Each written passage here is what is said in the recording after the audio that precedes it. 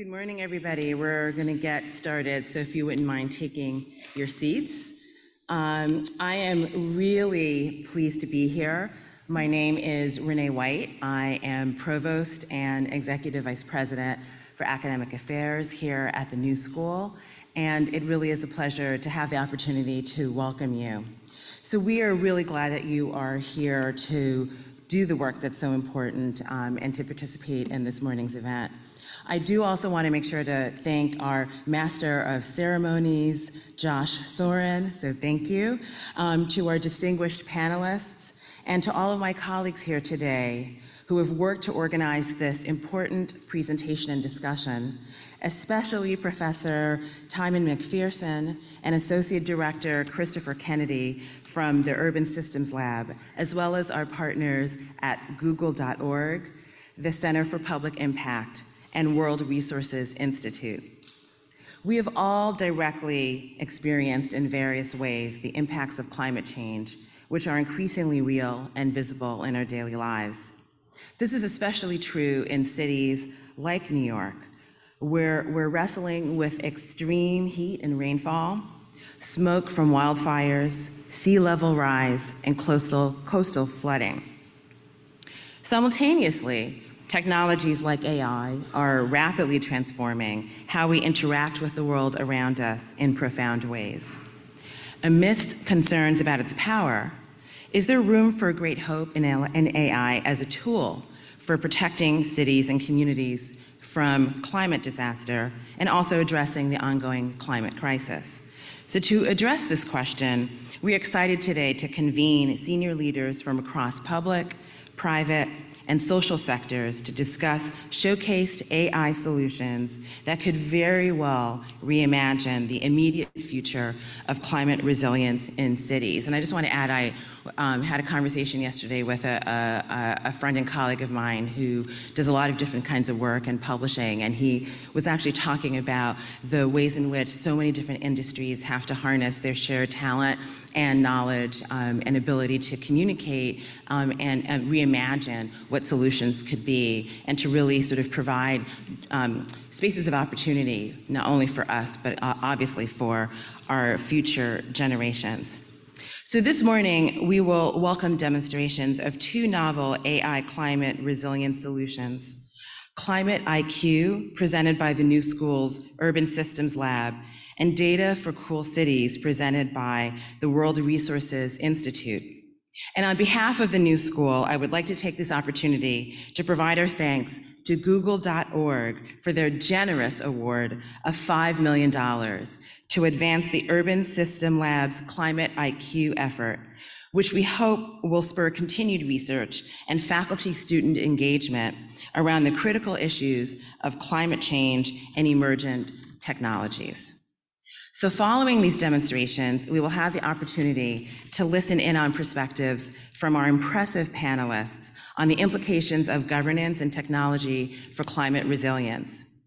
This panel will be moderated by Joel Towers, professor of architecture and sustainable design in the School of Constructed Environments at Parsons School of Design, as well as a New School University professor and also co-director of the Tishman Environment and Design Center, what we call TEDC. We then hope you will join us after the panel for a networking event with coffee and light fare just outside the auditorium. So in close, I just want to say that the New School is deeply committed to collaborative and interdisciplinary research and scholarship to address climate and environmental justice issues.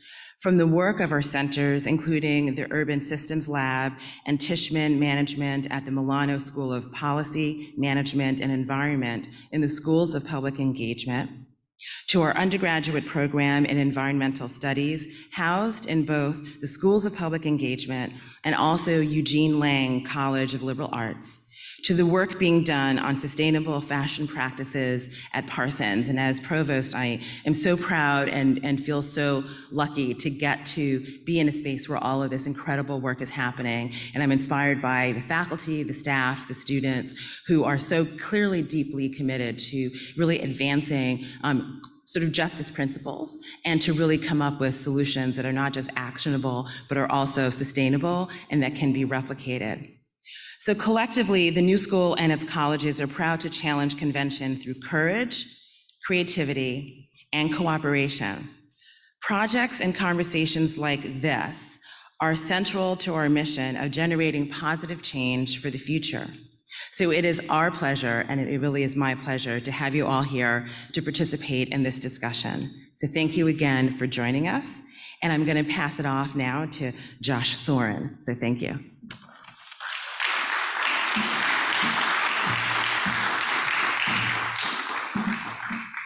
Morning, everyone. Uh, let's give another round of applause to Dr. White for those great opening remarks. So my name is Josh Soren. I work for the Center for Public Impact. We're a global nonprofit that was founded by the Boston Consulting Group. And we're one of the partners that are thrilled to host this event and just want to thank you all for, for joining today. To date, CPI has worked with over 200 local governments across the world with the mission to improve their capacity to solve complex problems. In my role, I lead our global portfolio of climate work across the world with the goal of increasing the speed and scale of climate action uh, across the world. Our organization was founded on this understanding that the challenges that governments face today in the 21st century are of a very different nature than the challenges governments face in the 20th century when their systems, structures, and processes were set up for. And so, to address these complex challenges, especially those associated with climate mitigation and adaptation, we think about how can we increase the speed and scale at which they're learning and improving on the, on the work that they're doing. So not just following the traditional process of analyzing, planning, and delivering, but really viewing experimentation and learning as a core way of the work, the core part of the, the work that they do. And this is why I'm so excited for today's event, and also why CPI was honored to support the Google.org Impact Challenge on climate innovation, which committed $30 million to fund big bet projects that accelerate technological advances in climate information and action. In just a minute, we're going to kick things off with some opening remarks from Dr. Mahmoud Mohieldin, the UN Climate Change High Level Champion for COP27, and also the UN Special Envoy on Financing for the 2030 Development Agenda. As Dr. White said, following that, we're going to see two showcase pr presentations of, of, solutions that were two of the winners from the Google, Google.org Impact Challenge on Climate Innovation. The first will be from the New Schools Urban Systems Lab, and the second will be from WRI. Following these showcase presentations, we'll have a panel of experts who will discuss the opportunities and challenges of leveraging technologies like artificial intelligence to accelerate climate action. Following that panel, we'll also have a Q&A, so please do get your questions ready throughout the, panel. And then as Dr. White said, following that, we'll have uh, some networking afterwards. We'll get to connect with each other. So with that, I'm very pleased to hand it over to Dr. Mahmoud Mohieldin to give us some opening remarks. Thank you. Please help me and welcome him to the stage.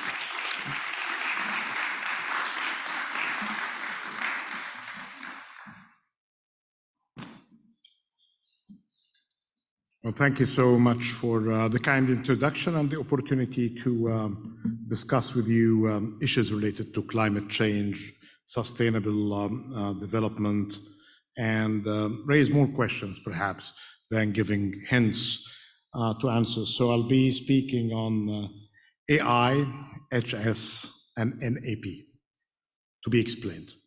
Um, so AI, the artificial intelligence and its implications. HS is uh, human stupidity that resulted in the mess that we're in, in climate and sustainable development goals. And NAP is my own acronym for no acronyms, please, especially if you are addressing wide, broad of audience who are not familiar necessarily with the jargon that you are using. Um, because I feel after getting exposed to um, some of the recent discussions about artificial intelligence, their policies, regulations, that's not just a matter for the top professionals working in their labs and their uh, silos, as they should, but it's basically an issue of concern for everybody now on the planet. Um, and uh, before I proceed, I'd like to uh, um, acknowledge um, the, uh, the sponsors and the, um, uh, the partners in this important work, including um, uh, Google.org, which I started my week in New York by um, attending many of their sessions uh, focusing on localized solutions based on adaptation and resilience in many developing economies, including from South Asia and, um, and Africa. I'd like to recognize as well the work of WRI, and they have been very much involved with us as partners in climate change and assessment of progress or lack of progress. Um, CPI has been already introduced with its uh, good impact on our work. And of course, the new uh, school. And this is my first time in person to be in the new school, but um, um, I have many uh, good friends as professors, um, old researchers, and graduates from the school. As I was uh, sharing with one of some of your uh, professors before this session, um, I graduated from um, a university called uh, Warwick University in the UK.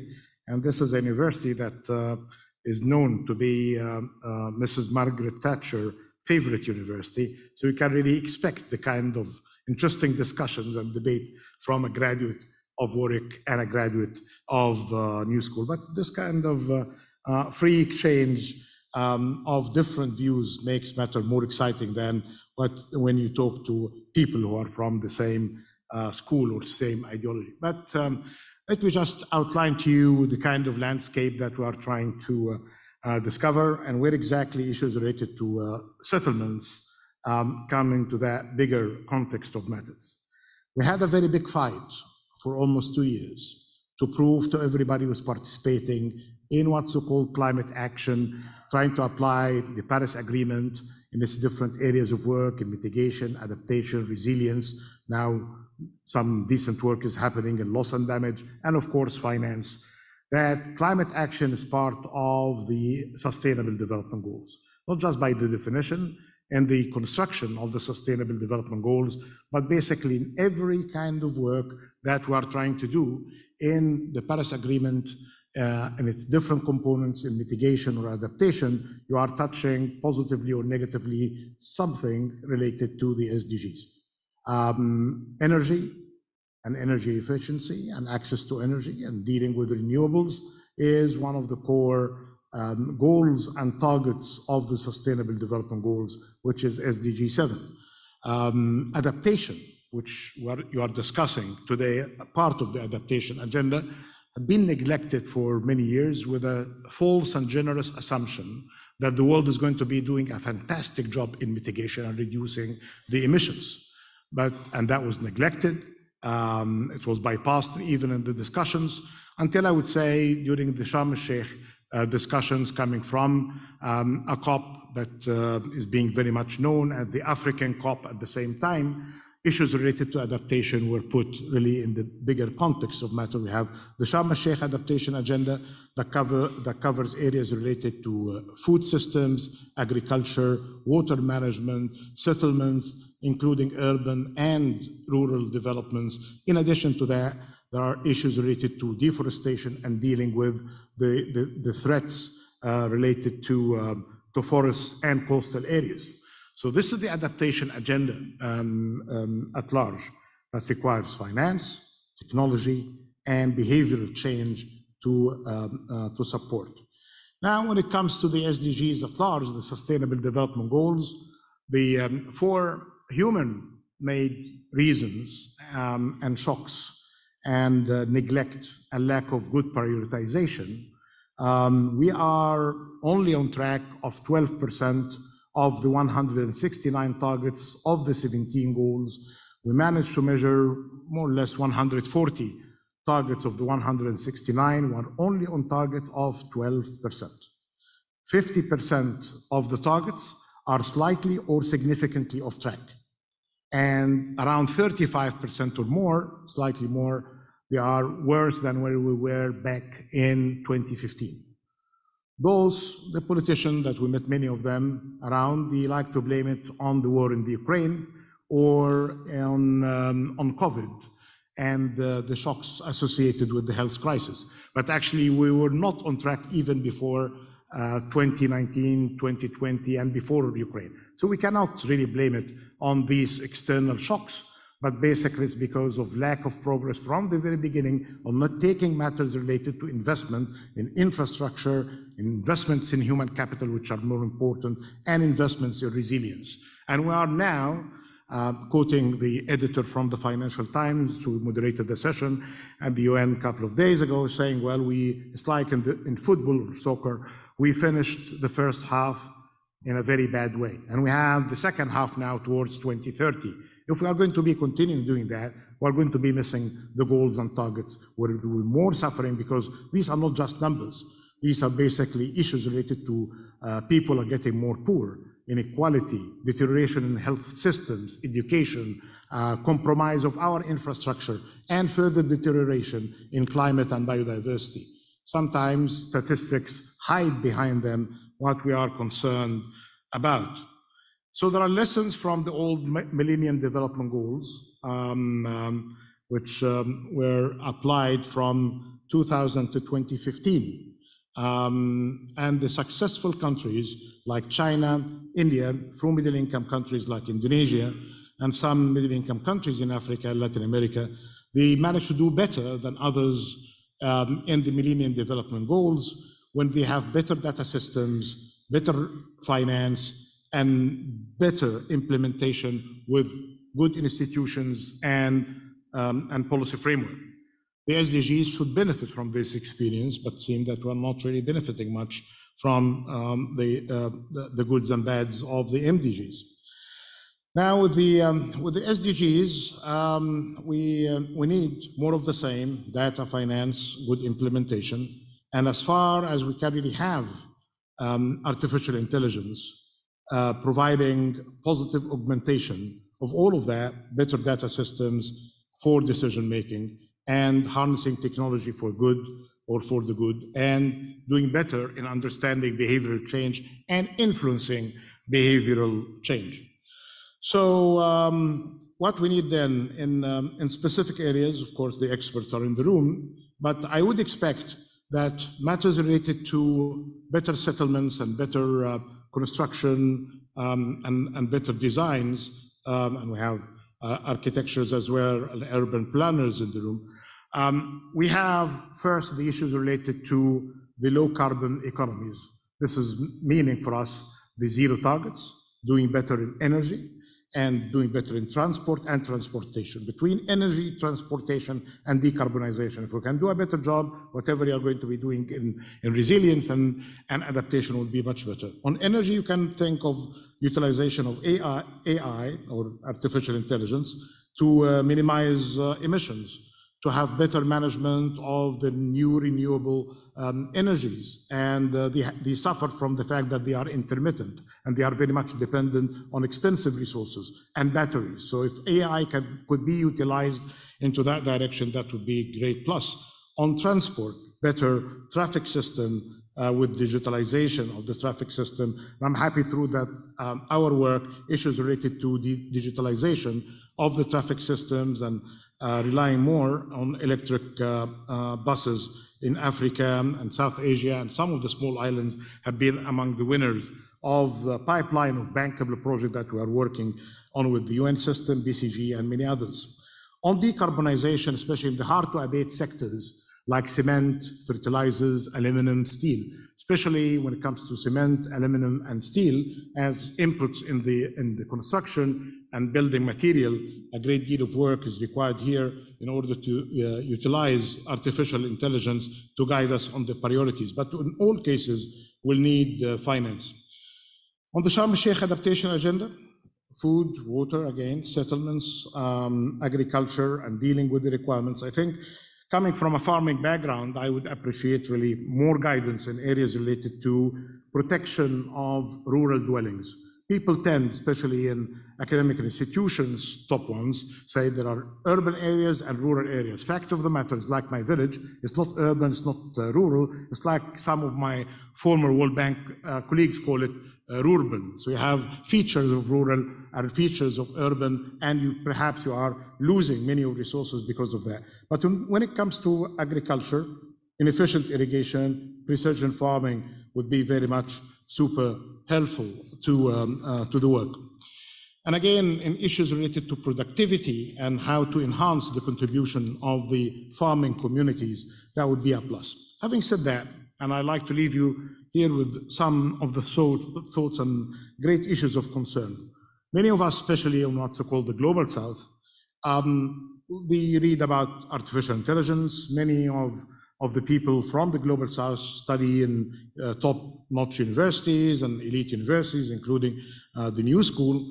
And uh, there is that issue of fear of, uh, of, uh, of technology, and there is the, the, the, concerns about disruption that I wrote a brief book with colleagues on business, governments, and SDGs with a focus on disruptions of technology and how smart disruptions could be, could be helpful. I can see that many people are trying to regulate and super regulate AI. And I think the, the history of dealing with technology, technological advances is basically about identifying the possible good, the possible bad, and trying to maximize the goods and um, deal with the concerns. Yes, there are um, um, uh, definitely, as all technologies had informed us, there could be implications on resources. Um, um, artificial intelligence could be uh, dependent on energy more than necessary. Can we be more efficient in that? Or in core rare material, that is, could be the subject of battles and wars in countries in Africa, especially with the unhealthy competition between some of the big incumbent powers like America or the US, United States, or the emerging powers like China and India. So here, can we have really um, some establishment of the rules um, of the game when it comes to access to core um, uh, rare material? Um, in, area, uh, areas related as well to inequality. And this is the old argument forever. When you have technology, there are losers, there are gainers. There are some people, and um, um, I, I, was um, writing an introduction to the oldest book in Arabic on, the, um, on economics that goes back to 1908. Of course, came late after uh, Mr. Adam Smith. But anyway, in that introduction of the book, issues related to um, challenges of technology and how uh, President Santa Anna of Mexico um, complicated the introduction of railways to, uh, to protect the, the service of transport that was conducted mainly through uh, donkeys and uh, donkey keepers. Uh, the, the, the, good motive was there is to keep an old industry from competition, but he delayed his country for years. We know how China, for instance, missed it when they were putting barriers on trade and investment for many years, and that's why they were behind since 1820. We know um, uh, attempts, um, including burning the, um, the, uh, the, the, the, chair of wisdom of Mr. Jacquard, who developed machines to make us more efficient in uh, producing uh, clothing. And, um, and people who are basically doing it manually felt the, the, threat, uh, the, the threat of machine. So typical arguments about uh, kind of uh, rejection of new technologies need to be harnessed by good understanding, good policy, and good regulations, and good interactions between the top thinkers, between the policymakers, and those who could be benefiting from that. Our concerns in the global south that while the advanced technologies are captured and protected, there could be some sort of barriers to access. And then we have the issues as well of regulations that could deny access to um, more information and better and better knowledge. For us, leapfrogging will be um, uh, exactly right. And whatever fears that could come from artificial intelligence, they wouldn't be as bad at the harm that was caused for many years because of human stupidity in wars, lack of interest in doing good in, in, investments in human capital, including health and education, and lack of good prioritization when it comes to, uh, to policies. Having said that, as I said, I have many questions uh, to you, especially in the policy, on the regulations, on how best can we integrate uh, society and get that kind of benefit from AI, especially when it is close to the people, much better than just saying, well, we discovered AI and its cousins or subsectors like machine learning, and we're going to regulate them, and we're going to be putting some codes. This is not helpful. We believe more on free competition, contestability, and access to information, knowledge, and education. And then the good dynamics will prove themselves right at the end, not to outsmart technologies or ourselves. Having said that, very grateful. I'll leave a copy of this book for your consideration at the library if you accept this uh, small gift. And many thanks and good luck. Thank you.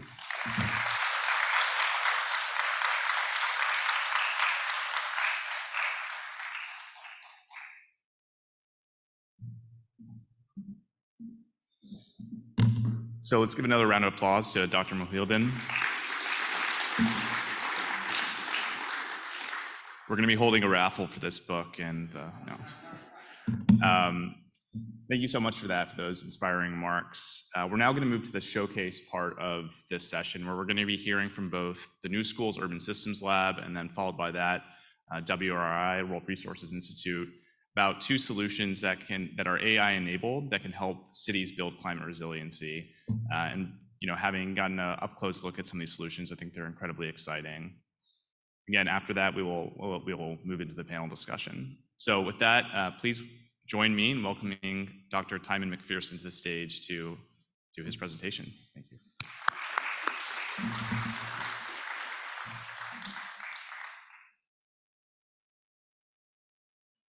Well, it's not just about cities, that's for sure.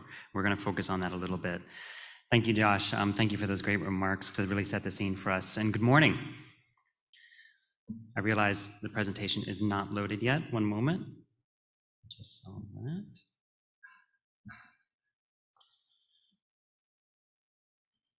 Remember when New York City looked like this? This was just three months ago when New York City had the worst air quality in the world. Or remember when it also looked and felt like this? This was Ida, which happened just two years ago, the worst rainfall driven event flooding here in, in New York City in our lifetimes, which actually broke a record that was set just a few days before for extreme rainfall. I mention this because the way most people experience climate change is through climate fueled extreme weather events. And these events are becoming more frequent. They're not only becoming more frequent, they're becoming more intense and they're lasting longer, which makes heat waves, droughts, coastal storms, floods, uh, winter extremes even much more impactful. It means they're impacting more people and they're costing more. Here in the United States, we've already experienced $23 billion disasters in just this year alone. So, on top of this, we also have to adapt to a new climate normal of individual extreme events because we have to prepare for events that co occur. I'll give you an example. Extreme heat and humidity after Hurricane Maria devastated the infrastructure in Puerto Rico in 2017 and then caused a health crisis. But let's look beyond these events. What else do we know? Last year, with hundreds of scientists around the world, we released the outcome of a seven year assessment effort to assess the global state of climate change by the IPCC. I'm sure you've seen a lot of this. I want to give you four quick takeaways uh, from this report. The first one, and we've been talking about this already, is that climate change multiplies challenges that we're already facing, including food, energy, and water security, and basically it makes them worse.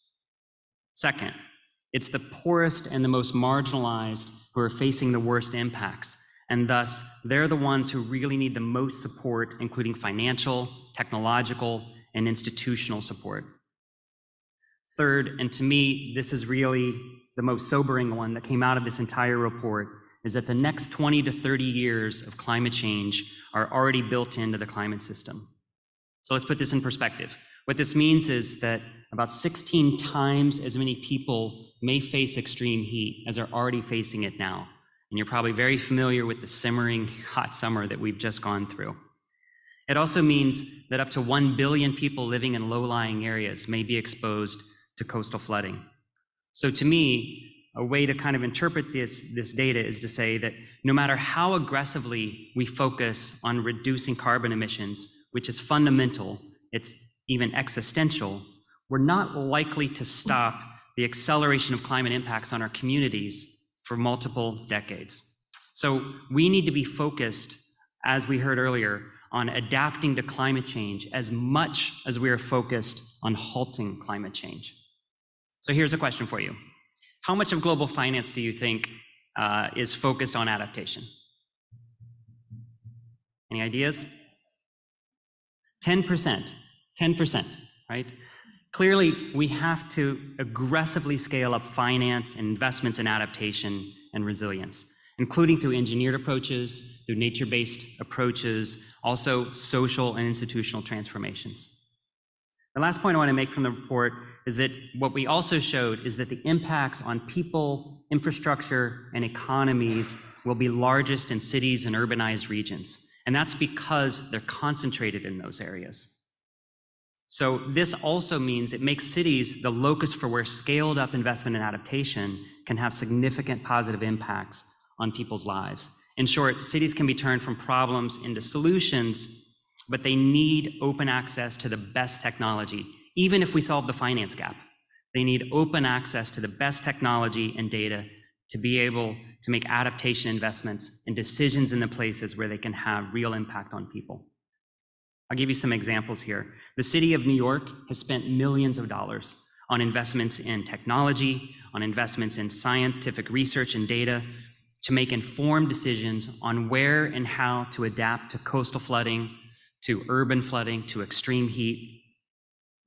Here's one I want to just dial in just to show you how we've been doing this and what this means for cities who don't have the same resources. In 2018, after Hurricane Harvey devastated Houston, Texas, we realized in New York that we just don't know enough about how extreme rainfall may cause flooding here in our city. So we set about to change that.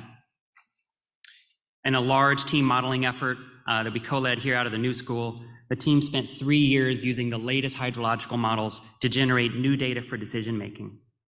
In May 2021, before that Ida storm that I showed you, the city released the stormwater resiliency plan and included the outputs of that technical effort to help us learn under different rainfall and coastal sea level rise scenarios where it's going to flood, how deep it's going to be, and that information was provided with high spatial specificity.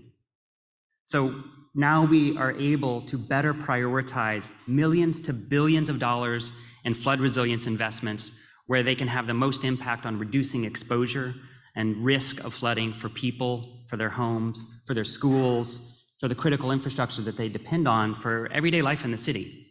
And this is just one of many examples uh, we could all talk about and probably show from well-resourced cities and how they're advancing resilience and adaptation through advanced technology and data. And it's built on data like you see here that's truly impressive. But frankly, most cities, even most communities, don't have an access to this data. In fact, just outside the city here, towns outside New York don't have access to the same data. In the US alone, there's over 5,000 cities and towns who have limited access to climate risk data. And globally, there's more than a million cities, towns, and communities, formal, informal areas, who lack local scale risk information. So they just basically don't have the data to ensure that the trillions of dollars of investments in development in the next decade will also protect, prepare, and help them respond to what the increasing climate challenges uh, are coming their way. So the question really is, how can we drive forward a climate resilient development agenda if we don't know what we have to be resilient to? Imagine if we could bring similar or better data to all communities and across the world to make those decisions so that we can safeguard people. And that's exactly what we want to do. This is the showcase we want to present to you today that we're excited to talk about. We're announcing a major new effort we're calling Climate IQ to open access to the best available climate risk information, but also to take the next technological leap to leverage AI to learn from and provide access to the rapidly changing data and climate landscape. I'll just introduce this a little further. Here are some of the goals of this. First, we want to create a next generation AI environment to drive forward latest advances in machine learning, and computation, and data integration to provide more accurate, higher resolution climate information, especially for multiple hazards, for extreme heat, drought, air pollution, and flooding. Importantly, and this I think really picks up on the points from the previous talk, the key here is to democratize the access, to make this open and available to everyone.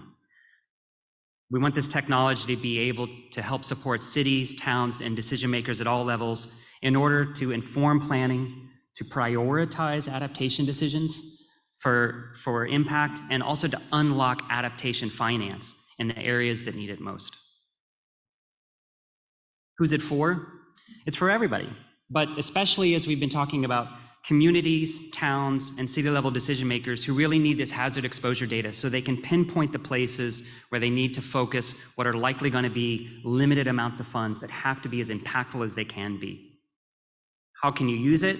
Well, outputs, as you can see here from Climate IQ, will be fed into an open access public dashboard, enabling users to view current, near-term, and future risk, and to do that for multiple types of hazards. You're probably wondering, since this is pretty ambitious, how this is actually going to work. So let me walk you through it just a little bit briefly. We brought together an incredible, talented team across the world, including support from Google engineers to help us develop the AI infrastructure and the data backends. We're going to be leveraging machine learning through uh, techniques like convolutional neural networks. We're going to leverage lots of sources of big data uh, and also multiple climate hazard modeling environments. So this means bringing together, in some ways for the first time, outputs from hydrological models, from weather forecasting models, from climate projection models, along with data on land use, buildings, roads, and other infrastructure that are all fed into the machine learning environment so that it can continuously learn and improve its ability to predict exposure to multiple climate hazards. On top of that, we've got to test it. So that means also validating and verifying those outputs with other kinds of event databases, but also critically together with partner cities. This is my last slide. We're going to be developing and testing Climate IQ in a whole range of cities. That's kind of key for the impact here. This is so the AI can learn patterns in large and small city and urbanized areas, in formal and informal areas, in temperate, tropical, and desert climates, and in older and newer and developing cities. So to make this happen, of course, requires a lot of partnerships and the ability to look across a range of city types that can feed this critical local, national, and global data into the AI core that can then produce outputs for any city that has similar characteristics. We're super thrilled to be able to be partnering with the City of New York as our first city partner to help us develop, test, and validate this approach, and thank them for coming on board early with us, uh, giving us a vote of confidence and moving this forward, and we're in active discussions with a number of other city partners. I also want to mention that our team includes a whole range of experts, including from ClimateSense, a climate tech startup, which you saw an early prototype of their UA, uh, UI UX environment that was developed with the Australian Red Cross and the City of Melbourne. We also have amazing partners from the Beijer Institute of Ecological Economics, the Stockholm Resilience Center, the Virginia Climate Center uh, George Mason University, and the Cary Institute of Ecosystem Studies that's just north of here, just outside the city. Finally, a key component of this is the volunteer team of Google Fellows that we'll be working with, and as we heard, the critical support from Google.org's Climate Innovation Program that makes this possible. So we thank them uh, for believing in this and seeing the ambition that needs to be solved to really address uh, adaptation globally. We're also very proud to be able to call the New School home for this project and here at the Urban Systems Lab. So I'd love to tell you more about this, especially afterwards. We're going to move to the next showcase here in a moment, but I just also want to say that uh, please stay in touch, follow us on social media, and subscribe to newsletters to get updates. And if you work for or with the city, we really want to hear from you. Please reach out to us because we'd love to talk with you about how we can work together to initiate what we think is the beginning of a wider moonshot effort to address the global climate adaptation challenge that we face. Thanks so much.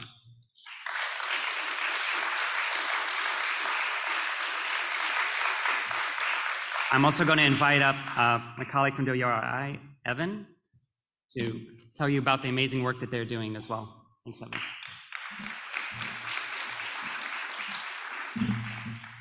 Thank you, Timon, and thank you to everyone here for joining. It's a busy week, but it's so exciting to get to speak to you. Uh, my hope for today is to uh, unpack the term AI. We hear it a lot. You can't read a newspaper without seeing the headlines. You can't throw a stick and hit a conference here at UNGA that's focused on AI for something, either in concern, so how are we going to regulate AI? How do we prevent harms? Or an opportunity. And so I want to go a little deeper and unpack how are we using AI today? What are we actually using it for? What changes when we use AI in our work on urban climate action? And how might that be different in the future with future systems? Along the way, I'll touch on work we're doing with Google. I'll touch on some very exciting products that are actually coming out uh, from many others. And we'll try to weave this together into a picture of what we can actually expect from these technologies and what we should really be concerned about and what we should really be hopeful for. Um, so we'll walk through. In terms of what AI is helping us do today, today and for the last few years, WRI has been at the forefront of using AI to help us see with local resolution at global scale. What do I mean by that?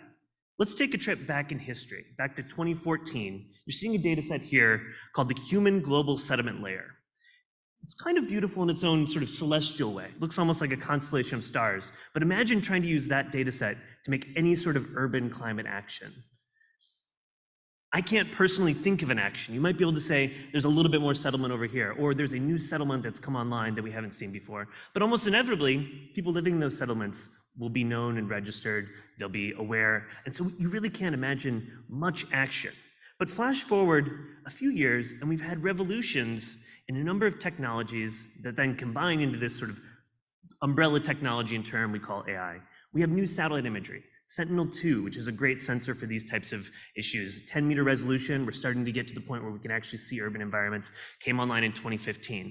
We see training data and machine learning and neural networks. We see revolutionary work uh, to make those, make those applicable from folks like Google. And we see platforms like Google Earth Engine that allow scientists and researchers to actually do this machine learning for their problems, for their communities, and to make this work. All of that adds up into some incredible tools that we have today.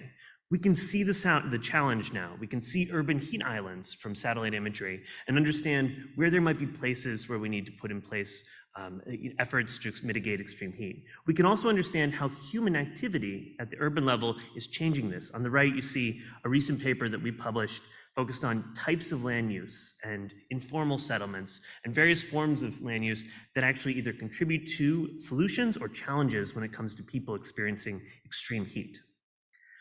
In addition to just seeing the challenge, we're also starting to be able to track the solution. So you see here our Global Forest Watch product, and we earlier this year launched a new uh, forest product that allows us to see for the first time at the full global scale across the tropics that GS GFW works at, down to the level of individual trees. So you can actually track if commitments were made for urban greening, were they followed through on? And that can be consistent across hundreds and hundreds of cities around the world, allowing us to do research, allowing us to compare, allow us to understand economic benefits, and turn that back into better arguments about how we should uh, do better urban planning in the future.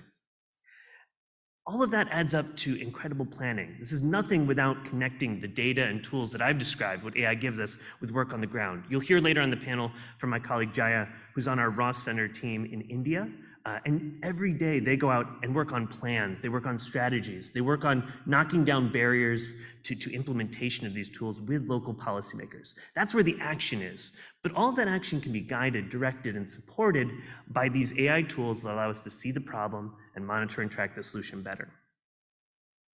Now, if you take a step back and you look at the most recent headlines on AI, satellite imagery doesn't actually come up much when we talk about AI today.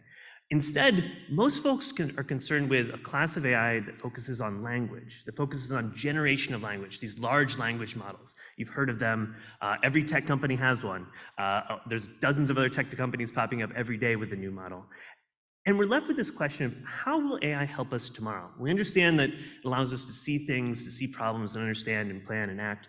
But this set of language technologies, what can it actually yield for us as folks who care about urban climate, climate action? In our work, we're finding that where LLMs are useful are two important challenges that the climate community faces overall. We have a lot of data, but we don't always have insight. We don't always have a clear view of what that data might mean for a specific situation. And we find that LLMs can actually help with that insight part of the equation. Similarly, once we have insight, there's often barriers to action things take a long time. It can take a long time to do certain small tasks, and then when all those tasks stack up to a project or an initiative or to a, you know, a mayoral administration, it can take a long time to actually get to action. And while not perfect, uh, and I could share a little bit in the, next demo, we believe that LLMs can actually shorten that time to insight, shorten that time to action, and overall allow us to deliver more for our communities. Now, I should stop here before I go into a demo and say that at WRI, uh, we have internal policies around this with our team. Uh, these are just our policies. They're relevant for our context. They may not be relevant for yours, but I'll share them hopefully to, to kind of make sure that you're, you're, you're seeing this with the appropriate guidelines. First is to keep the human in the, in the, in the loop. Um, we asked our staff if they're going to use these tools to actually check the outputs. They are still responsible for the outputs of any work done with LLMs. As a person, as an author of a report, or as someone who's producing a dashboard, you're still responsible. Second, don't share sensitive, confidential, or private information. Uh, I think this is a general policy. Even folks like Google, if you look at Bard, it says, you know, don't share anything you wouldn't want someone else to see here. This isn't because we don't directly trust these tools. It's because they're under development. It's new technology. We need to set guide rules. The regulations aren't there. And so while we don't do that, we ask folks not to share that. We don't share sensitive information that maybe we get from a partner. We don't share personal sensitive information in these tools when we're prompting. And then finally, and this one gets a little challenging, focus on automating tasks you understand well. Uh, your ability to use these tools actually comes from a place of being able to converse with them, to direct them, to focus them, uh, and, and actually over time inform them about what you want to get out of it. And so it's better to focus on tasks that take you a lot of time but that you understand well instead of trying to do something you've never done before with these tools. So with those guidelines in mind, I'm to share a little bit about how uh, I was using a tool from Google called BARD uh, to solve an urban climate action problem uh, for myself earlier.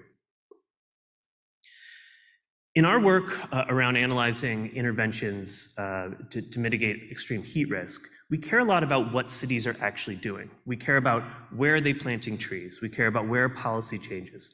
Often, and especially in places where I don't live, that data can be hard to access. You can talk to policymakers. They themselves sometimes struggle to track these things. Uh, work is happening across so many different departments, so many different places. And so simply to get together a list of sites where certain actions were taken by government that may add up to better climate outcomes and, and, and lowering urban heat uh, can be a challenge.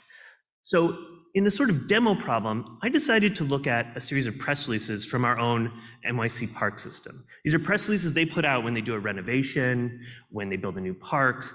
There are hundreds of them online if you go there. Uh, and each of them is written as a press release, right? This is a so and so said this, so and so cut a ribbon. But they also have a lot of very interesting information.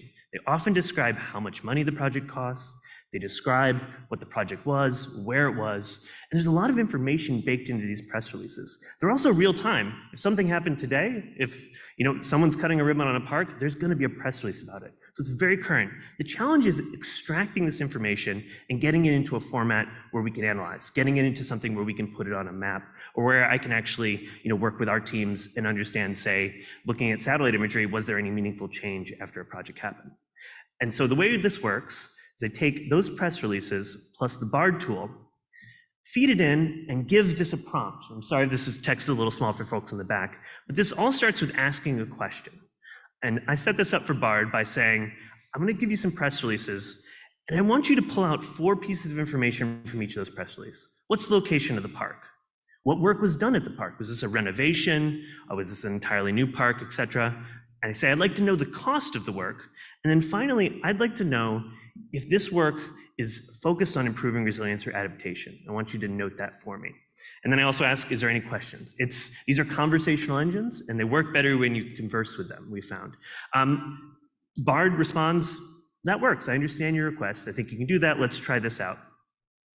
So I feed in the first, and it's abbreviated here, but essentially it's a big block of text that I just copy pasted from a press release and put right in here. And BARD does a very good job, or at least appears to do a very good job right in the service here. We now have a table, says Shore Park and Bay Ridge. The work that was done is a new dog run, cost a million dollars, and yes, there's been some work here to adapt uh, the surface uh, for excessive rainwater. And it goes into a, a little detail there, actually a very useful blurb. So that's great, but to the point of always checking our work and making sure that we're going back and validating what these LLMs are doing, let's actually go to the press release itself. So it got the location right, it got the work done right, it got the cost right, and it even got the resilience right, uh, resilience part right. And it's, it's useful. You'll note, and this is probably very small at the bottom here, but the word resilience is never used. And that's the power of these LMs. They can actually parse text in ways that are human. So if a human analyst were to read this and say, uh, yeah, I would score that as resilience, there's an opportunity for the LLMs to actually mirror that, not perfectly and not always, but to allow us to pull out concepts and, and things and categorize them uh, appropriately. And so, of course, one press release is useful. That saved me a little bit of time from reading that whole thing and coding it, putting that data in a spreadsheet. But where the value comes in is being able to do tens of these or hundreds of these. And so, following that pattern again, just looping over press releases, I was able to build a table, a spreadsheet of this over time, I actually realized that um, I wanted uh, Bard to actually change something. So I wanted to give me a binary variable of just yes or no, whether there was a resilience project. And I also wanted the text. I wanted a short summary. That was as simple as just saying, hey, can you go back, reanalyze these things, and add in just a column that says yes, no. Now, for any data scientists in the room, and I'm a data scientist, to do all this normally is a lot of time. I'm sitting there coding, I'm looking up how do I do this, especially in my day job now where my main job is meetings and working with people. So if I get an hour to code, I'm sitting there, you know, instead, simply by working the prompts and working in conversational language, I'm able to get this complex data structure together. And of course, you know, to the back to the original goal, in this, I find ones where there are projects that are intended to mitigate urban heat island effects. And so in practice, I would take those, build a separate data set of those, mark those, and then actually look at over time how temperatures change in those locations. And then we can actually look at, at scale, is this working? Can we adjust strategy? Do we need to engage policymakers on a whole new strategy over time? Interesting enough, I want to remind you, LLMs aren't perfect. These aren't tools that are, that are magic or that are doing anything beyond really complex matrix math across massive data sets. And so it's important to keep humans in loop, but they are useful in being conversational. And a trick that I've used often is you can actually ask an LLM what it's not confident about, what maybe you should check by hand. And so in this case, um, there were a couple where, you know, whether a resilience or an adaptation project is a judgment call even in practice. If I had a, you know, an analyst on my team work on this, we would have conversations around is this project an appropriate resilience project or not, et cetera. In the same way, I can say, hey, are there any of these that you're not confident about, where you read something in the description, but you weren't sure if the goal was resilience or adaptation? And so it actually picked one out and said, I'm not super sure about this. Um, it says there's gonna be a new synthetic turf field with a stormwater management system, but I'm not certain if that directly connects to a resilience goal or outcome. So in that case, I could take that one, I could call up a contact or simply go to the place or consult with an expert to figure that out. But allowing the imperfection to stand in our way of using these tools uh, actually means we won't actually find out about them, right? And so within, with these guide guards, with Safelines, we're able to get actually a lot out of these tools. So in the end, and this is where as a data scientist, this is super exciting for me, because now instead of writing code to geocode something, when I had this table, didn't even have addresses or locations, right? I had a park, and then I had a, a borough or a neighborhood, something like that. And I said, Bard, can you geocode this and then put it on a map? And there in 10 minutes, I've taken text data, I've done probably you know years of NLP to kind of train up on getting NLP to extract entities, to, to summarize key terms. I put that in a table, and then I've made a map simply through about five or six prompts and a little iteration. And so for us, at the level of insight and action, this is where LLMs are actually incredibly useful, right? We're getting to insight quicker. I can actually understand something so I can move on to my big question, which is how are these projects and implementing them in NYC parks, how is that actually going to help with mitigating urban heat island effects? Uh, and then you know, action. Well, this, of course, doesn't imply any action directly. Uh, the fact that I have a map this afternoon today means that I could hop on a call with a partner or a policymaker much more quickly and give them guidance. And overall, when we think about these timelines to 2030, we think about these big things, it's all time. How can we compress that? How can we tighten this up a bit so that the real work, the stuff that will take a lot of work and can't be automated, work with communities, work at the policy level, that that can actually have enough time to do that work because we're automating some of this back office stuff. So thank you for going along on this journey with me. Um, we're really excited to continue using both the AI we use today and then the AI in the future. And we always love to work with new partners and collaborators. So please do get in touch. Thank you.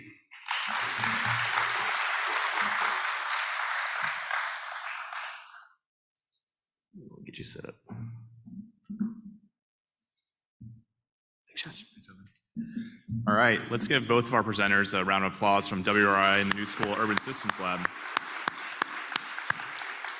So I'm so excited that now we're actually going to transition to the panel discussion. And we've got a panel that includes an incredibly impressive group of leaders from across sectors. And I'm going to briefly introduce them, but I'll let their, their remarks do all the talking. Uh, so first, we're going to have Rit Aggarwala, who's the New York City's Chief Climate Officer and Commissioner of Environmental Protection. We have Gino Van Begin, Secretary General of ICLEI Local Governments for Sustainability. We have Jaya Dhindaw from the WRI. She's the interim director of the WRI India Ross Center for Sustainable Cities. And then we have Alex Diaz from google.org. He's a senior manager of AI for social good and crisis response. The panel is going to be moderated, as Dr. White said earlier, will be moderated by Joel Towers, who's a professor of architecture and sustainable design at the Parsons School of Design and the co-director of the Tishman Environment and Design Center. So without further ado, please join me in welcoming these leaders to the stage.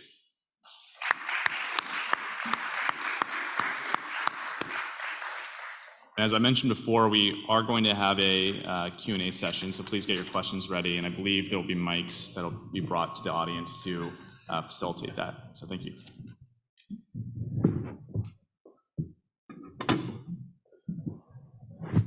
Thank you, Josh. And um, just to pick up where, where Evan left off, it's all about time and the compression of time. And we're running a little bit late. So I'm going to do my best to compress the time so that we can actually get to a couple questions if we have them. But we have this extraordinary panel here, uh, which I'm very pleased to be able uh, to moderate. And um, following uh, Timon and, and um, Evan's presentations, uh, We have a lot, I think, to think about uh, and to discuss as it relates to the expertise uh, of our guests today. Um, I wanted to just frame the conversation very briefly as um, each of you consider the, the converse, the questions that we'll uh, discuss today um, around issues that have come up already in the, in the first part of the uh, session around hope and fear, uh, because I think AI generates a tremendous amount of hope and it generates a tremendous amount of fear. Um, about questions of trust, um, where information comes from. I personally trust every press release that comes out of the city of New York. Um, and so, uh, if the underlying data is coming from someplace, how are we ground truthing uh, the information that produces uh, all of these new maps for us to think about? And how does the technology itself help us advance questions at this pace and with the urgency necessary to the changes uh, that we know need to occur um, in the context of a tremendous amount of misinformation?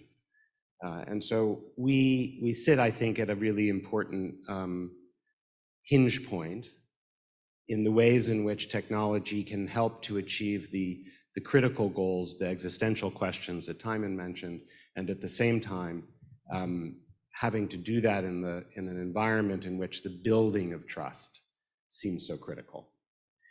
So um, uh, I, I think, um, Rit, if I could start with you um, in that context, uh, because I think uh, New York has been presented here rightly as doing a tremendous amount of work over a long period of time to try to address these, these crises. But um, knowing you and the work that's going on, there's so much more to do.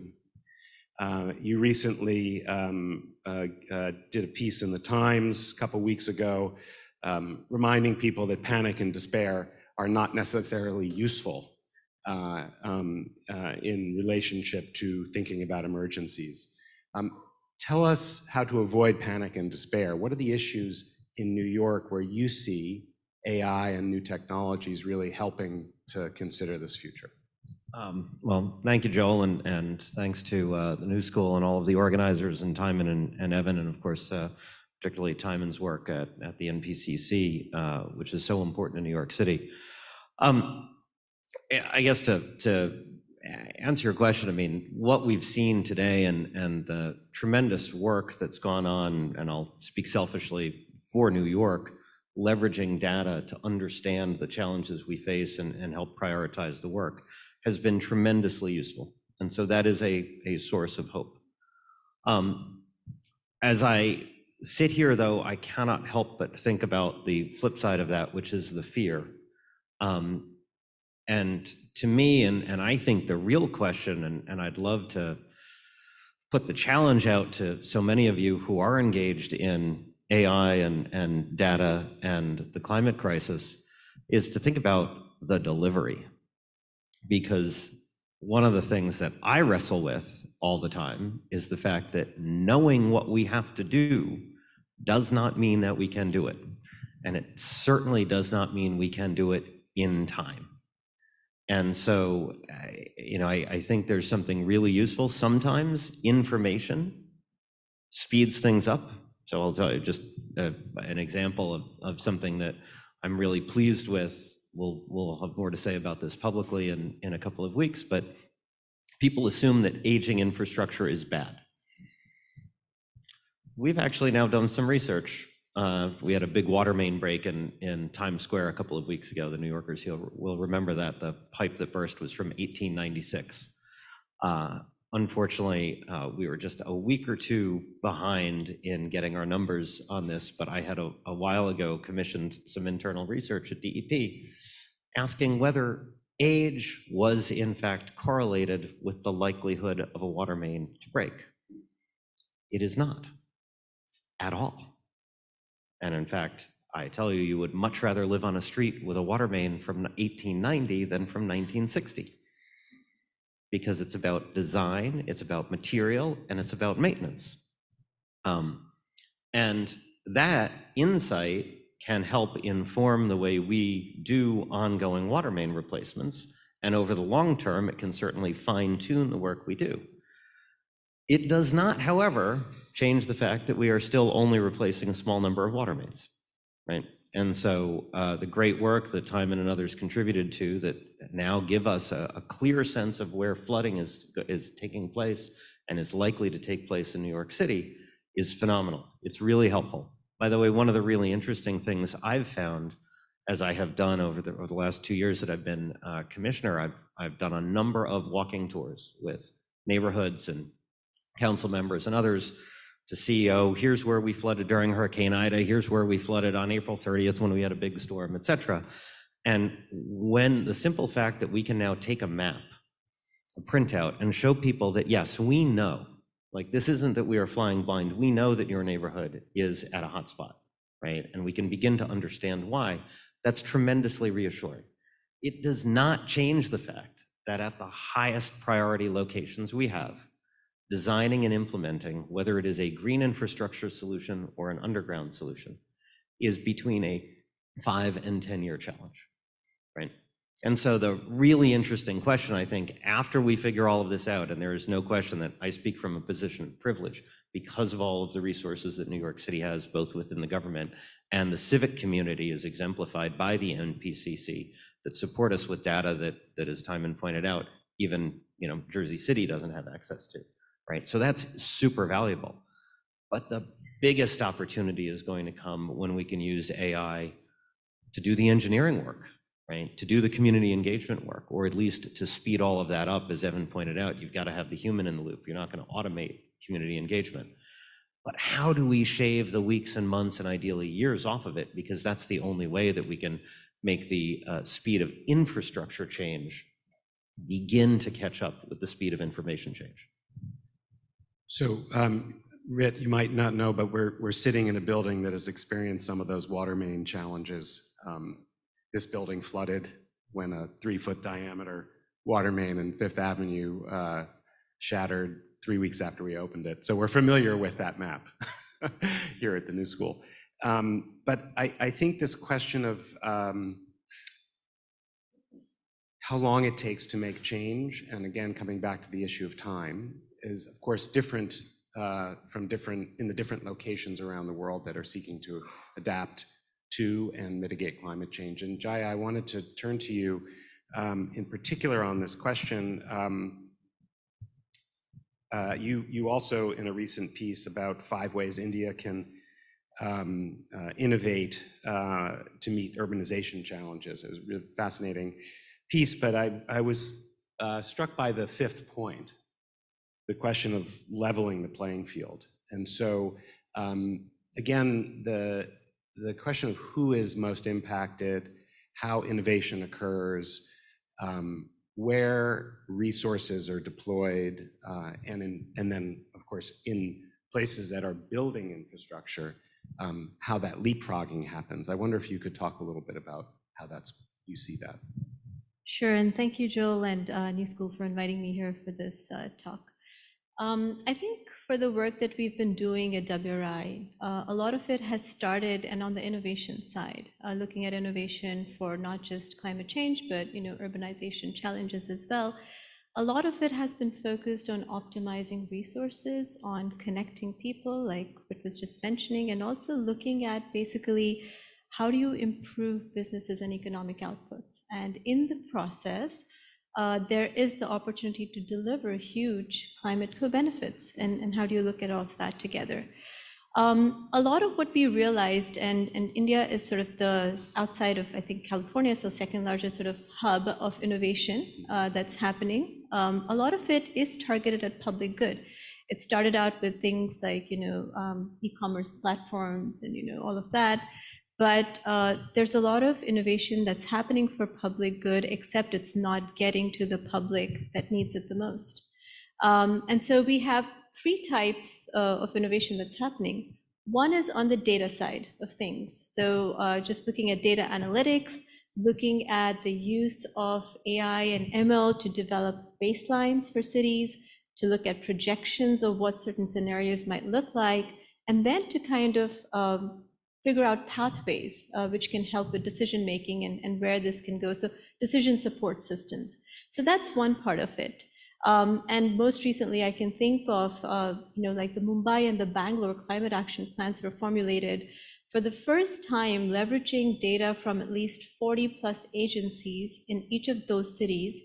Uh, no mean task, mind you, and basically establishing that for the first time to say, this is where we are, this is what it looks like right now. We never had that before. So this is a big part of what's happening, which stands to basically, in a way, level the playing field to understand where we're at. The second part is looking at, um, you know, innovation for hard infrastructure solutions. Uh, and we've had, you know, companies come to us. We've been talking with innovators on the energy side of things, on the water side of things. We're looking at optimizing and driving efficiency in resource use. So they're looking at how can we bring in things like sensors into buildings, uh, into you know living spaces to optimize for the energy use of that space. How can we you look at reducing water consumption and water usage? Uh, and some of these, you know, the claims that they make, and we also tested them, uh, they're they're kind of reducing 50% of domestic water usage and thereby reducing the cost of a household by 40%, and so on and so forth. So there's those kind of solutions on the one hand, and we're trying to see if there's a way to mainstream them through government contracts, so onboarding them through procurement processes that can lead to a larger sort of public dissemination of these kind of innovations. Um, the third kind basically is around uh, software as a service. Uh, and I'll go with the, the NAP, no acronym, acronyms here. It's actually called SaaS. But um, essentially looking at uh, things like, you know, you're talking about putting solar, you know, on rooftops, for example, and that being a huge source of energy and renewable energy. But looking more closely at what percentage of that roof, rooftop can I actually solarize to get the kind of efficiency and outputs that I need? The entire rooftop you know, technically speaking, you cannot put a solar panel on all of it and then, you know, get the kind of, um, you know, energy efficiency that you're looking at. So that's one. Looking at restoration potential, I think Kevin talked about that, and looking at, you know, where is planting being removed in cities, where is their restoration potential, mapping that, doing some of the on-ground surveys, saying, okay, this is where the restoration potential is, this is where things like nature-based solutions can be implemented. And these are the kind of solutions which will give you the biggest bang for the buck. So um, that's that's happening. But in all of this, I would like to say that when it comes to you know the level playing field, word of caution, uh, and that is that this is all additional cost. Whether it's for the cities, whether it's for the industries who are adopting these these solutions, these are additional costs. So when you look at global south cities, which are very crash strapped and they really don't have a lot of you know, spending ability per capita, where is this money going to come from is a big question for us. And while the bigger cities, for example, in India, Mumbai or Bangalore can probably you know, absorb these costs relatively more easily, what happens to you know, the, the thousands of cities and smaller urban areas which don't have those capabilities? And so therefore, we need to look at what are some of the alternative solutions which can drive at that, but at the same time lead to the kind of co-benefits that we're seeking. So returning us to the finance question that we that we started with, um, uh, Gino, I I wanted to ask you if um, hearing these sort of two uh, uh, initial perspectives um, from uh, from New York and from India. Um, if you using the kind of ICLEI lens across 2,500 uh, partner cities and locations, um, where are you seeing the trends in the engagement with technologies and machine learning and artificial intelligence um, begin to, to perhaps change the shape of the problem? Uh, which cities um, are able to start to take advantage of this, and where are the risks and concerns? Thank you very much, and um, good morning, everyone. Thank you for inviting me. Um, on that question, I think what we see as a, as a general trend, and that is both uh, cities in the global north and in the global south, is that there is um, an absolute need for data um, in order to make um, decision making, especially when it comes to solutions for climate change, uh, to, to make that, to take those decisions in a science-based way. And so the first thing is that um, we see that there is a, an absolute lack of, of data information, um, um, and, and, and, and in particularly when it comes to um, looking towards solutions on, for adaptation to the impacts of climate change. So whilst there might be data available at, at national level or regional level, um, th that data is not being decentralized um, at, at the local level. So for many cities um, around the world, it is, it is very difficult to take or to anticipate um, the right decision making and, and, and, and, and steps in order to, um, for example, to, to adapt to climate change. So that there is a, there is a need, first of all, to, um, to, to get that data um, because it is not yet there. And therefore, I think the machine learning and, and artificial intelligence can be a tool that helps us to get there faster, as it was also said by, by presenters earlier. We, from our side, for example, here in, in, in, in, ICLEI, uh, in, in the US, um, ICLEI USA has been working for a decade now with a, a software tool that we call ClearPath, to, um, which allows to, uh, to um, inventorize uh, greenhouse gas emissions, to set the targets, and to um, allow also to deploy um, strategies. For more than 1,000 cities uh, here in, in, in, in the US, this has been done, and, and they are using the tool. Um, but, but imagine that through um, AI and, and, machine learning, we could um, um, speed up the, the, for other cities that are coming into that and using that tool, we could speed up the, um, the process for them to choose, select um, um, solutions um, and, and, make decisions from those other cities with similar attributes, for example. So the, the, there is definitely an, an, an, a big value of, of using the um, uh, AI and, and, and, and machine learning to speed up again that process. Um, we are working with, with Google also um, on, on um, bringing in further information that, that Google has as a very vast location data-based uh, information they have, for example, in terms of transportation, in terms of uh, vehicle miles traveled per transportation mode, or um, intensity data of buildings in cities, and trying to bring that together and incorporate that in, in those tools. So yes, um, on your question, I think we, we see that there's an, an, an, absolute need for that further data processing, accessing the data, and then um, um, working with the data.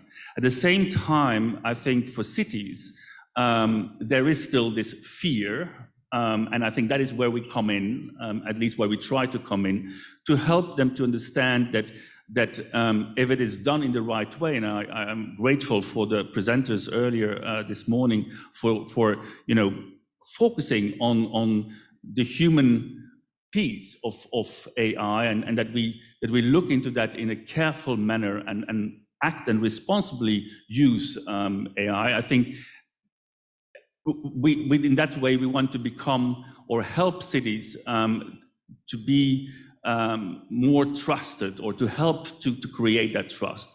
At the same time, um, and, and I think in that sense, especially in Europe now, um, there is um, um, a, um, an absolute movement and understanding at the highest levels in the European Union, for example, of a need to have some kind of standardization and, an approach towards AI.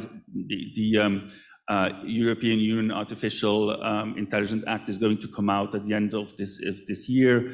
Um, it, it, it, puts really the focus on, on human needs um, uh, and, and the values of that, um, whilst at the same time, of course, um, saying and, and, and putting the efforts on, on the on the, the value of, of, of, um, of AI. But um, one of the examples also here or, or suggested are being made is perhaps to create a sort of an IPCC um, for, for uh, artificial intelligence, where you would have, you know, really scientists coming together and making the right recommendation of how to use uh, in best ways possible, in valuable ways possible, um, AI. So all of that is, is, is ongoing. I think that is going to reflect and, and have also um, positive impact on, on, uh, um, on cities and for cities. Um, so I, I think also the, the, the, uh, the examples brought here this morning, I think that is the way forward. If, if we can, again, um, speed up this entire process and use it in a, in a in best way. But we are not yet there. But I think the trend is, is, is being set uh, for sure. Gino, I want to pick up on the philanthropy comment you made earlier, but I think we should also um, commit ourselves to uh, that IPCC for, for AI, including a chapter on HS um, and how the two are connected. Uh, so, um, Alex, I want to go to you on the question of philanthropy because you sit here on the panel having also made a great deal of things possible in this space. Uh, and as a researcher, we know the importance of, of what you're able to jumpstart through that kind of the work that Google is doing. And so I wanted, though, to ask you to think not just about why is it important that philanthropy is engaging in these questions, but when we go back to Timon's um, uh, slide about 10% of global finance addressing adaptation, um, if we had the percentage of global philanthropy focused on climate and environmental justice issues, it's tiny.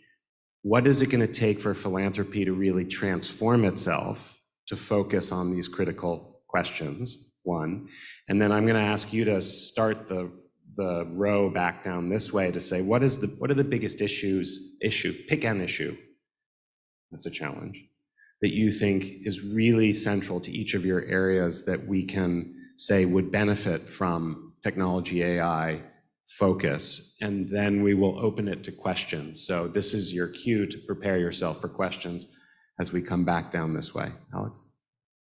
Thank you, Joel. Um, philanthropy is risk capital, especially when it comes to developing technological solutions, especially AI.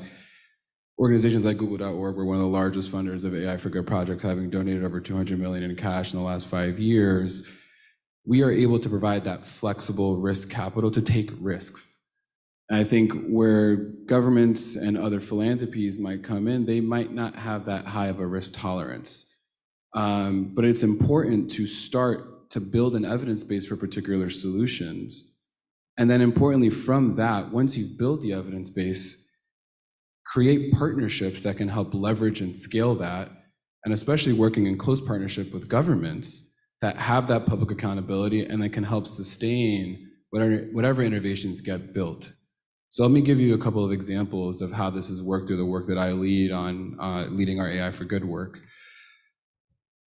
COVID hit, and the minister of the, the ICT minister of the government of Togo, Cina Lawson, an incredible advocate for uh, for using uh, advanced technologies to to drive change, came to us and said, "Hey, we have a bunch of stimulus money that we need to get out into people's hands that are vulnerable right now, but we can't go door to door because of the pandemic. Are there some technological solutions that can exist that can help us do that more quickly uh, to help? Because it's needed, it's vital. And we had been working with a nonprofit called GiveDirectly that provides direct cash transfers, and we've been helping build that evidence base for why we should just give cash as a viable intervention tool. And they have been working with UC Berkeley, with, uh, with Josh Blumenstock's lab, that can combine a couple of different data layers that can help improve the targeting of aid and do it in a much more quickly and, importantly for COVID, remote way. So they use satellite imagery data, looked at things like roofing material, they worked with telecommunications companies to get aggregate signals from telcos that can glean relative proxies of relative wealth that give you a good enough first draft of if you need to target your aid, here are some locations to focus. And they stood up this Novissi program in the government of Togo that was able to get uh, cash into the hands of hundreds of thousands and eventually millions of people in a span of weeks, which normally would have taken, even with door to door, months. Now let's fast forward and connect to some work uh, that the New School is leading. Uh, now that we know that that digital infrastructure, and importantly, once the digital infrastructure is built, it could be reused. It's a digital public good. Now that we know that that can be done, and now that we know that there are advancements in predicting disasters, I think we have the tools now, the capabilities to be able to predict things like floods has vastly improved in the last couple of years. So now that we know with more lead time and with better granularity that a catastrophic flood might be coming, what can we do now that this digital infrastructure is built to provide cash in advance? How can we get cash to vulnerable populations before the disasters hit? Because what we've often heard from uh, the, the beneficiaries and the organizations, the communities that our, our, our grantees work with is they might not have access to early warning systems. We can solve that. They might get access to an early warning system, but not understand that. That's a human problem. We could solve that. But what about those that get access to their early warnings, they understand them, but they don't have the resources to do anything about it? Now, because of AI, we can get action faster, more informed, and data driven. And I think if were it not for the ability to de risk some of these interesting innovations and build that evidence base, we would not be able to have conversations with governments, with USAID, with others to say, hey, have you thought about, we're not saying this needs to be the panacea and needs to be in the entirety of your work, but doing more of it. And time is of the essence. So essentially, planning as opposed to emergency response. Yeah, for every dollar you're putting into preparedness, you're saving eh, on the order of seven to fifteen dollars in response. So would you say that if the issue is for the biggest issue you're seeing is that capacity to to flip the paradigm um, in that regard. Yeah, it's it's it's it's almost like a basic human psychological bias of how do we get folks in, from being entirely reactive to more proactive. And as a father of a, of a four month old, the climate crisis, I want to make sure that my son can be around long enough. And I think were it not for leadership like Rit and others, like we need to be doing things earlier. And we have the tools, our capability. It's a matter of will and collective action. Gino, what's the biggest thing you think we should be focused on?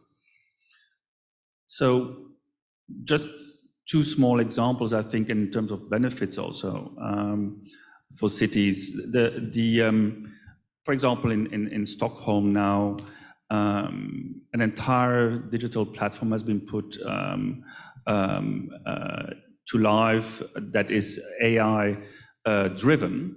Um, and which brings together the, uh, the citizens' energy advisors, um, solutions for um, um, efficient energy use in, in, in, buildings, in households.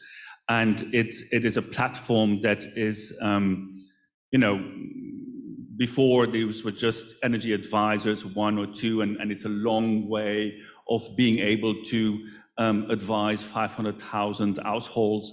Um, this platform, for example, as just as, as, as, as a, uh, an initial uh, pilot, has just been able to reach um, within, within a month time these 500,000 households and provide insights as well as very detailed and sometimes complex ways of, of, um, of addressing uh, energy intensity in, in, in, buildings. And so, again, I think here, these are the models that um, um, we should be developing further.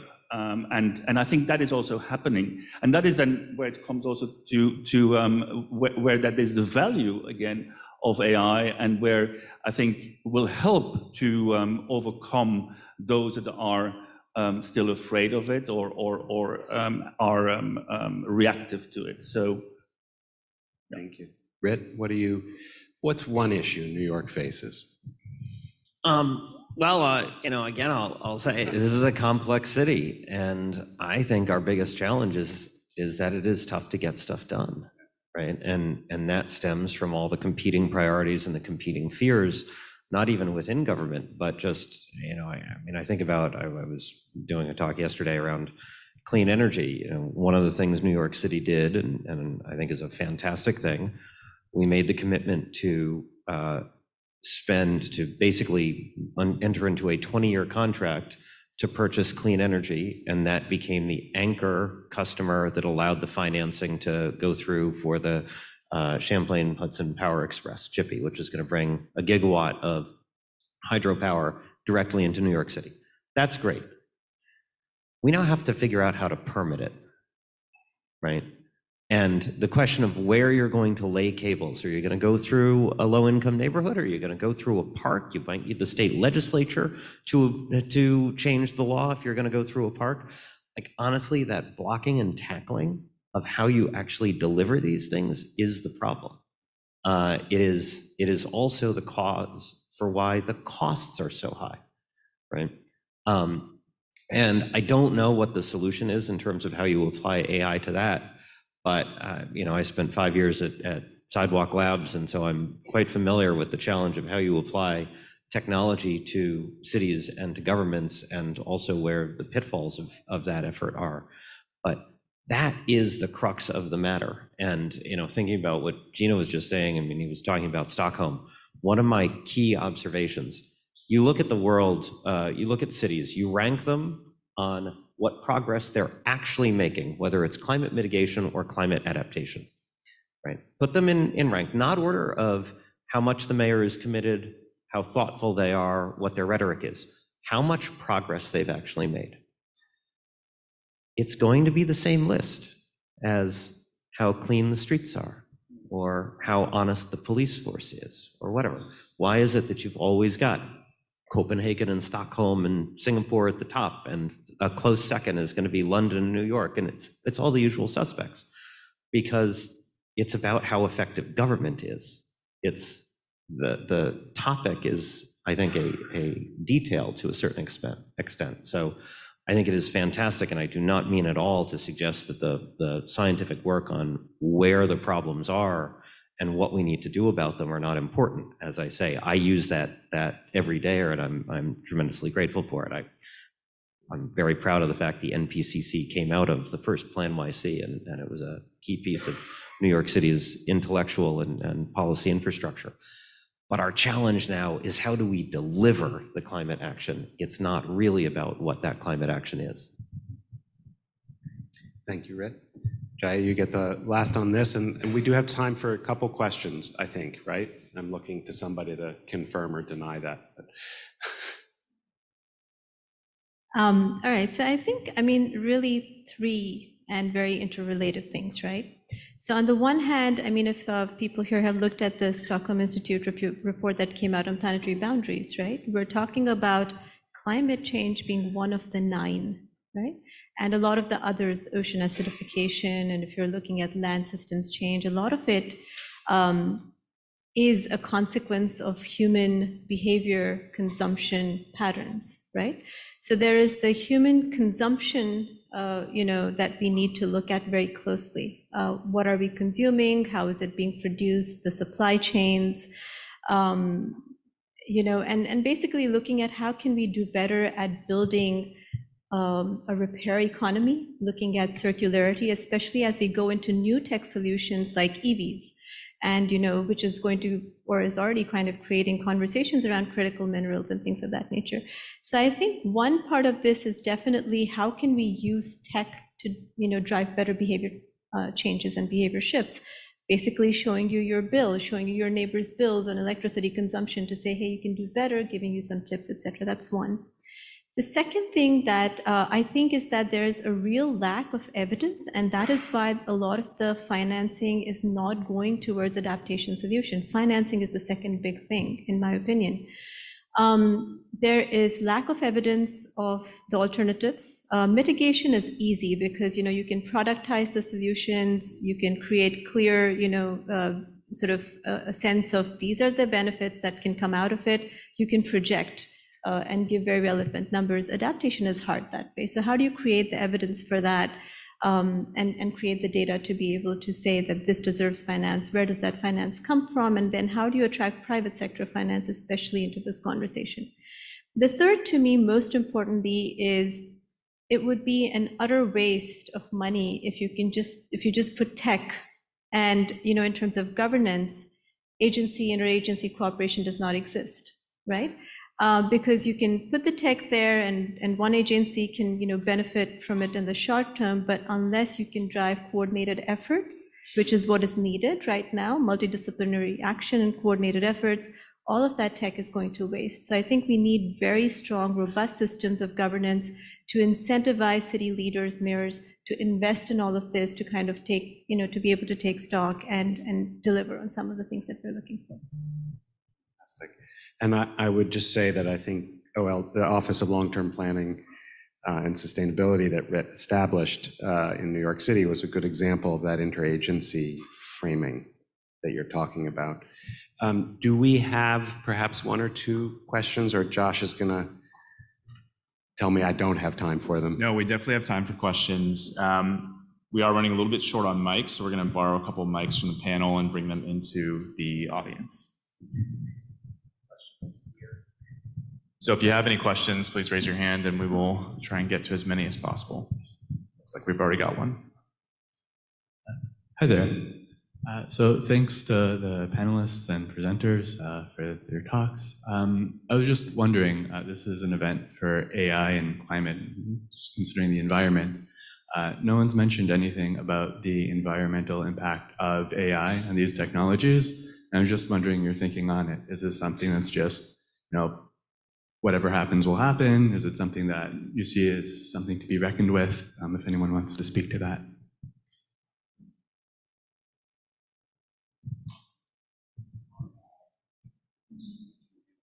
It's a great question. It's a question that's come up a lot this week in terms of the, the R&D that's necessary to try and mitigate and reduce the carbon uh, uh, footprint of training these models. And I think there's also the flip side to that where AI can be really helpful in reducing greenhouse gas emissions. And I'll, I'll give you one example that came out recently from a research team at Google um, that focused on contrails. Uh, so contrails are the, the, the white clouds that you'll see uh, often in the sky when, uh, when a plane is flying over. Uh, and what they train a machine, a machine learning model to do is try and predict flight plans uh, for pilots that can reduce contrails, which are huge, uh, huge uh, greenhouse gas emission uh, emitters. And what they did was, with some with some travel optimization, they increased gas by uh, 0.2 percent, but were able to reduce the greenhouse gas emissions of that flight by over 50 percent. Um, so yes, there needs to be work and research and development to help improve uh, the, the carbon intensity of the training of these systems. But at the same time, there's also a tremendous opportunity to help reduce the greenhouse gas emissions using AI uh, uh, on things like, uh, like aviation.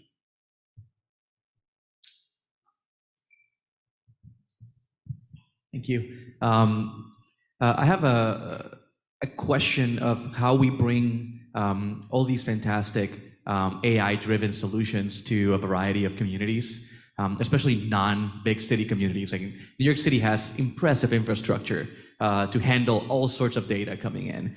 Uh, but you start going to small and medium-sized cities, sometimes they'll have a single planner that will be working uh, on basically everything that that particular county or city is working in. They probably don't have the capacity to deal with a sudden influx of data. And we're experiencing this as in the Virginia Climate Center, uh, trying to bring, bring climate data to people uh, in more rural communities. And I'm very curious what the panel thinks um, are some of the gaps we need to fill uh, and how we can go about that uh, to bring uh, this technology and, and the solutions that can enable to all these kind of other size communities? I, I can start, or do you want to start? I- Um, Sure, I mean, and, and just to say that, yes, absolutely, and this is exactly the kind of challenges that we faced in, you know, in Indian cities as well. I think one of the very successful examples of, that you mentioned about the digital public infrastructure, right? And that, for example, India has seen one of the most successful deployments of that technology uh, when it came to, you know, you know, during the times of COVID, you know, directing sort of targeted um, uh, social schemes at people, or you know, in terms of also using it as early warning systems for evacuations and, and things of that nature. So I think one is that you know, if we can work more around sort of the, the digital public infrastructure and look at how we can use mobile phone access, right, which most people have in this day and age, uh, to kind of do the warning systems, to kind of do early warning, uh, you know, systems which are targeted.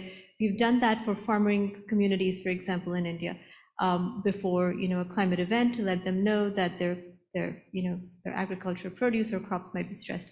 So I think one is that, you know, investing in sort of DPI and looking at how that can be used for multi-purpose uh, sort of framing is, is one of the things that we can look at. And I think in terms of capacity, that one planner in a town, that's all too common, right?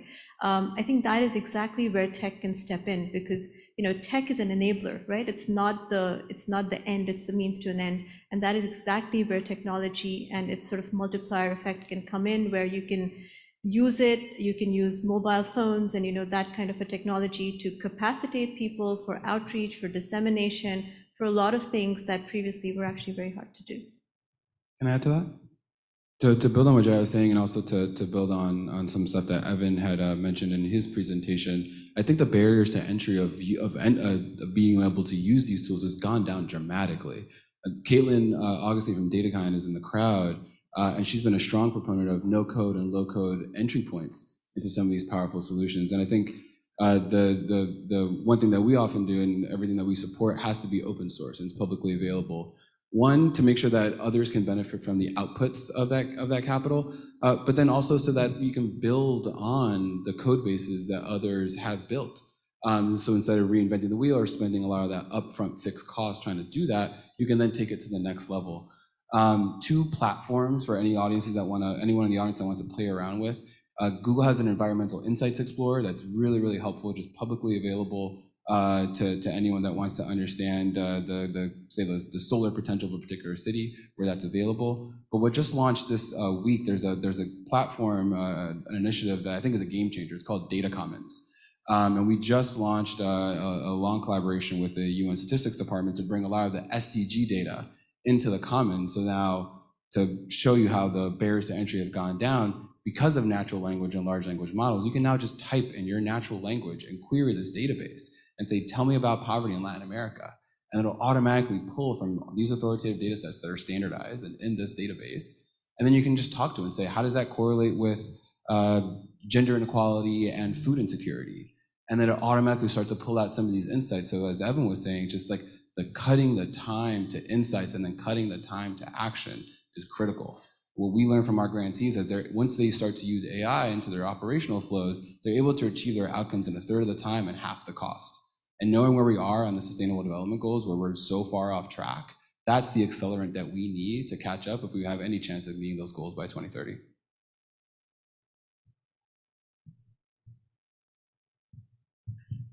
Hi, thanks. Great panel. Um, one of the challenges we still have is demonstrating that the cost of inaction is greater than the cost of action.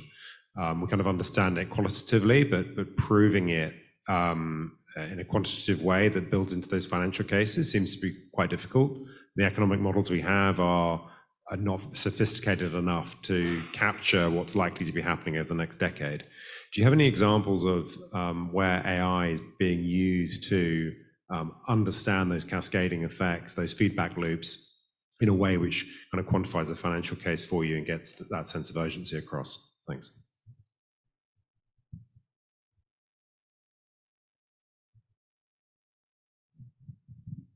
I take a? Okay. Uh, Everybody's thinking about what the answer might be to this question. I, I, I could be a little bit flippant. We might not know, but all the insurance companies that are pulling out of Florida and California may already have done that, right?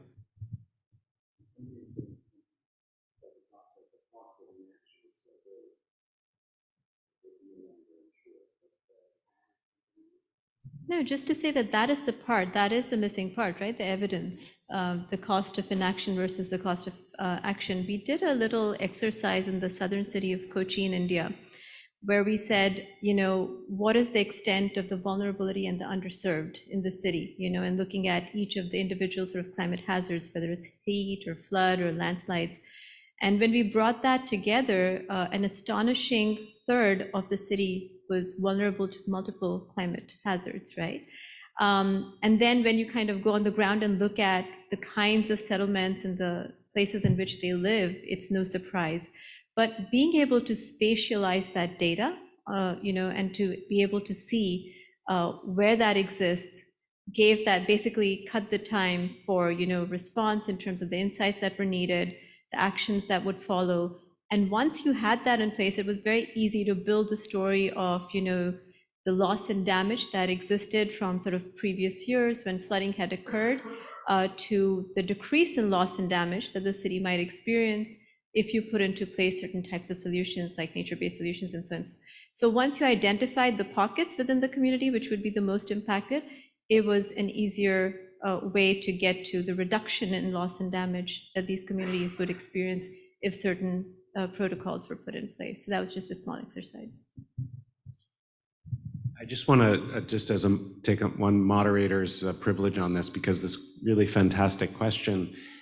I think there's a, there's an information gap, though, at the spatial distribution of the question, right? So understanding the cost of inaction and, or the benefits of action across a city, a municipality, an industry is one thing understanding how that plays out at the individual level, the building owner level. We have these challenges in New York with our local laws. How do you push forward initiatives that have real cost, though that cost will ultimately be paid back um, when it plays out at the individual level? And I think AI could perhaps be quite valuable in this, this question.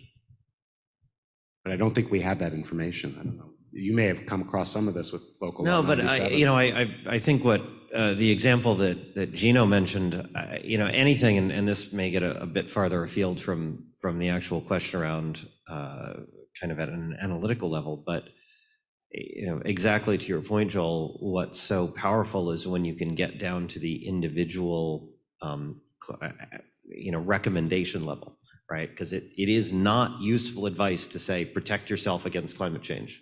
It is not useful advice to say, green your building, right? That's not actionable. What's actionable is when you have a tailored set of things that you can, in fact, do, coupled with an assessment of why you need to do that. One of the examples for, you know, what a direct application of the work that uh, Timon and his team have contributed to, we issued these rainfall ready maps at DEP a year ago, which is actually not about climate change, it's about current flood uh, vulnerability, we identified the 1,600 most likely to flood parcels around the city that were residential, and we proactively reached out to them to offer them flood barriers. Now, is that a long-term solution? Of course not, but it's a stopgap because, as I said, it's going to take us years to figure out exactly and, and more importantly, how to deliver the, the infrastructure solution, but those people are at risk today. Okay.